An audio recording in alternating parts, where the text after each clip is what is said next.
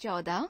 जहाँ नारा इस पाठ में कथाकार नाटककार जयशंकर प्रसाद ने मुगल बादशाह शाहजहां के अंतिम दिनों की बेबसी, उसके बेटे औरंगज़ेब की राज्य लोलुपता और उसकी बेटी जहाँ नारा के पितृ प्रेम पितृभक्ति, समर्पण, सेवा और त्याग भावना का मार्मिक चित्रण किया है। यमुना के किनारे शाही महल का दृश्य। यमुना के किनारे शाही महल का दृश्य। महल में सन्नाटा है। नेपथ्य से तोपों की गड़गड़ाहट और की झनकार सुनाई दे रही है। शाहजहां मसनद के सहारे लेटा है। एक दासी दवा का पात्र लिए खड़ी है। शाहजहां चिंतित है। तोपों की आवाज़ से कभी कभी चौंक पड़ता है। नहीं नहीं। क्या वह ऐसा करेगा? क्या हमको तख्त ताऊस से निराश हो जाना चाहिए? हाँ अवश्य निराश हो जाना चाहिए। कौन? जहानारा? क्या तुम सच कहती हो? हाँ जहाँ बना यह सच है क्योंकि आपका अकर्मण्य पुत्र दारा भाग गया। और नमक हराम दिलेर खां क्रूर औरंगज़ेब से मिल गया। अब किला उसके अधिकार में हो गया है। लेकिन जहानारा क्या औरंगज़ेब क्रूर है? क्या वह अपने बूढ़े बाप की कुछ इज़्ज़त न करेगा? क्या वह मेरे जीते जी तख्त ताऊस पर बैठेगा? जहाँ नारा आँखों में अभिमान का अश्रु जलाते हुए जहाँ पना आपके इसी पुत्र वात्सल्य ने आपकी यह अवस्था की है।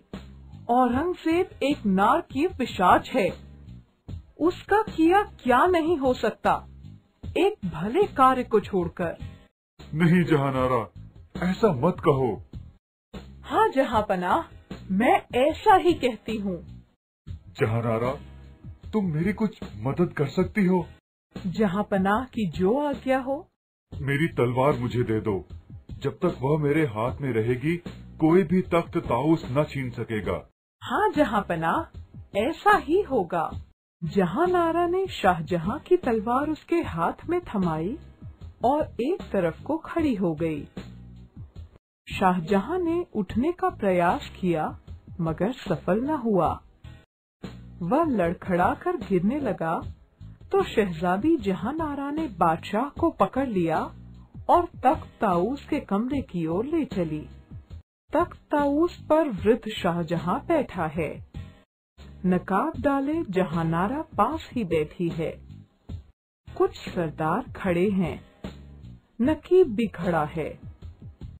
शाहजहां के इशारा करते ही उसने अपने चिर अभ्यस्त शब्द कहने के लिए मुँह खोला।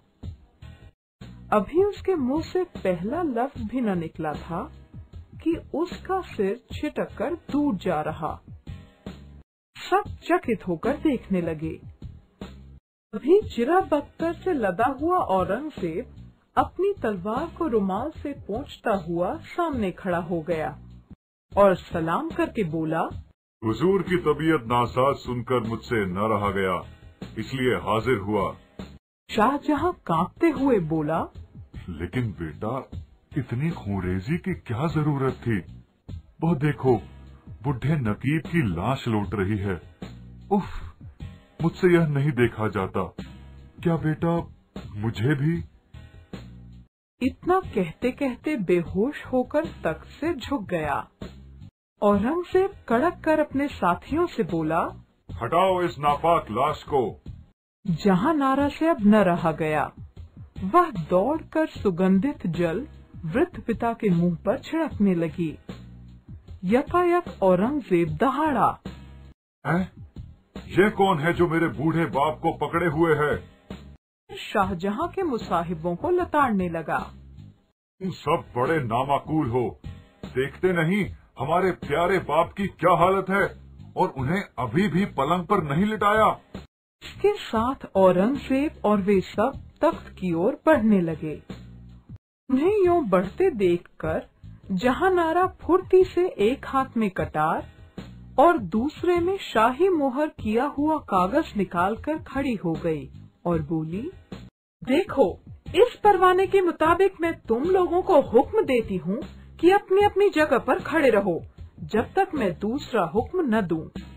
सब लोग शाहजहां के लिखे उस कागज़ की ओर देखने लगे उसमें लिखा था, इस शख्स का सब लोग हुक्म मानो और मेरी तरह इज़्ज़त करो।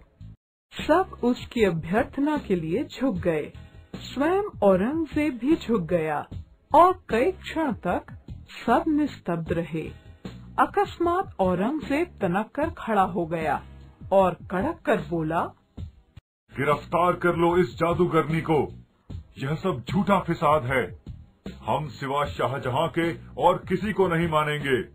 सब लोग उस औरत की ओर बढ़े। जब उसने यह देखा तब फ़ौरन अपना नकाब उलट दिया। सब लोगों ने सिर झुका दिया और पीछे हट गए। औरंगज़ेब ने एक बार फिर सिर नीचे कर लिया और बड़बड़ाकर ज़ोर से बोला कौन? जहानारा तुम यहाँ कैसे? पलट कर अपने लड़के की तरफ़ देखकर बोला बेटा मालूम होता है कि इनका दिमाग कुछ बिगड़ गया है। वरना इस बेशर्मी के साथ यहाँ न आती। तुम्हें इनकी हिफाजत करनी चाहिए। इससे पहले कि औरंगज़ेब का बेटा कोई बेदबी करे, जहाँ नारा बोली, और औरंगज़ेब के दिमाग को क्या हुआ है? जो वह अपने बाप के साथ बेअदबी से पेश आया? जहाँ नारा के मुँह से इतना निकला ही था कि औरंगज़ेब के शहजादे ने फुर्ती से उसके हाथ से कटार झपट ली और बोला मैं अदब के साथ कहता हूँ कि आप महल में चलें नहीं तो जहाँ नारा से यह देखकर रहा न गया वह गिड़गिड़ाकर औरंगज़ेब से बोली क्यों औरंगज़ेब? तुमको कुछ भी दया नहीं है? औरंगज़ेब ने कहा दया क्यों नहीं है जहानारा जैसे दारा शिको तुम्हारा भाई था वैसा ही मैं भी तो भाई ही था। फिर तरफदारी क्यों? वह तो बाप का तख्त नहीं लेना चाहता था। उनके हुक्म से सल्तनत का काम चलाता था। तो क्या मैं वह काम नहीं कर सकता? अब बहस बेकार है। आपको चाहिए कि महल में जाएँ। जहाँ नारा कातर दृष्टि से मूर्छित पिता को देखती हुई शहजादे की बताई राह से जाने लगी। यमुना के किनारे एक महल में शाहजहां पलंग पर पड़ा है और जहाँ नारा उसके सिरहाने बैठी हुई है। जहाँ नारा से जब औरंगज़ेब ने पूछा था कि वह कहाँ रहना चाहती है, तब उसने केवल अपने वृद्ध और हतभागे पिता के साथ रहना स्वीकार किया। और अब वह साधारण दासी के वेश में अपना जीवन अपने अभागे पिता की सेवा में व्यतीत करती है। वे भड़कदार शाही पेशवास अब उसके बदन पर नहीं दिखाई पड़ते। केवल सादे वस्त्र ही उसके प्रशांत मुख की शोभा बढ़ाते हैं। शाही महल में चारों ओर एक शांति का आभास होता है। जहाँ नारा ने जो कुछ उसके पास था, सब सामान गरीबों को बांट दिया और अपने बहुमूल्य अलंकार भी पहनना छोड़ दिया। अब वह एक तपस्विनी ऋषि कन्या कन्यासी हो गई है। बात बात पर दासियों को झिड़की नहीं देती। केवल आवश्यक वस्तुओं से अधिक उसके रहने के स्थान में और कुछ नहीं है। वृद्ध शाहजहां ने लेते लेटे आँख खोलकर कहा बेटी अब दवा की कोई ज़रूरत नहीं है। याद खुदा ही दवा है। अब तुम इसके लिए कोशिश मत करना। जहाँ नारा ने रोकर कहा पिताजी जब तक शरीर है, तब तक उसकी रक्षा करनी ही चाहिए। शाहजहां कुछ न बोलकर चुपचाप पड़े रहे। थोड़ी देर तक जहाँ नारा बैठी रही, फिर उठी और दवा की शीशियाँ यमुना के जल में फेंक दी। थोड़ी देर तक वहीं बैठी बैठी यमुना का मंद प्रवाह देखती रही। सोचती थी कि यमुना का प्रवाह पहले जैसा ही है। मुगल साम्राज्य भी तो वैसा ही है। शाहजहां जीवित हैं, लेकिन तख्त ताउस पर वह नहीं बैठते। जब तक चंद्रमा की किरणें उसके मुख पर नहीं पड़ी वह इसी सोच विचार में बैठी रही। शहजादी तपस्विनी हो गई है। उसके हृदय में वह पुराना तेज अब नहीं है किंतु एक स्वर्गीय तेज से वह कांतिमयी हो आई है। उसकी उदारता पहले से भी बढ़ गई। दीन और दुखी के साथ उसकी ऐसी सहानुभूति थी कि लोग उसे मूर्तिमती करुणा मानते थे। उसकी इस चाल से पाषाण हृदय औरंगज़ेब भी विचलित हुआ। उसकी जो स्वतंत्रता छीन ली गई थी, फिर मिल गई। पर अब उस स्वतंत्रता का उपभोग करने के लिए अवकाश ही कहाँ था? पिता की सेवा और दुखियों के प्रति सहानुभूति से अवकाश ही कहाँ मिलता था? जिसकी सेवा के लिए सैकड़ों दासियाँ हाथ बांधकर खड़ी रहती थीं, वह स्वयं दासी की तरह अपने पिता की सेवा करती हुई अपना जीवन व्यतीत करने लगी। वृद्ध शाहजहां के इंगित करने पर उसे उठाकर बैठाती और सहारा देकर कभी कभी यमुना के तट पर ले जाती और उसका मनोरंजन करती हुई छाया सी बनी रहती। वृद्ध शाहजहां ने इल्लो की लीला पूरी की। अब जहानारा को संसार में कोई काम नहीं है। केवल इधर उधर उसी महल में घूमना भी अच्छा काम नहीं मालूम होता। उसकी पूर्व स्मृति उसे और भी सताने लगी। वह बहुत क्षीण हो गई। बीमार पड़ी, पर दवा कभी न पी। धीरे धीरे उसकी बीमारी बहुत बढ़ी और उसकी दशा बहुत खराब हो गई। अब औरंगज़ेब ने सुना, अब उससे भी सहन न हो सका। वह जहानारा को देखने के लिए आया। जहानारा एक पुराने पलंग पर, जीर्ण बिछौने पर पड़ी थी। केवल एक धीमी सांस चल रही थी।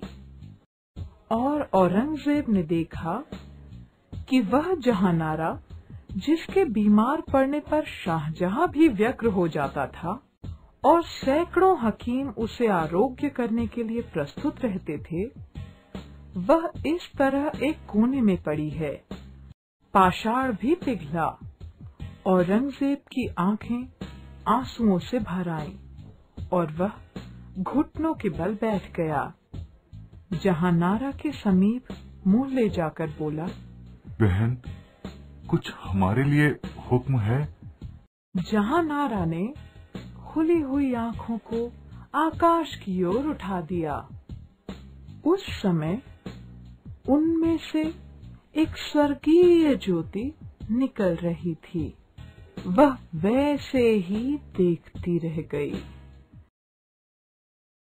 इस पाठ के लेखक जयशंकर प्रसाद का जन्म सन अठारह सौ नवासी में वाराणसी में हुआ, जहाँ सुंघनी साहू नाम से भी विख्यात हुए।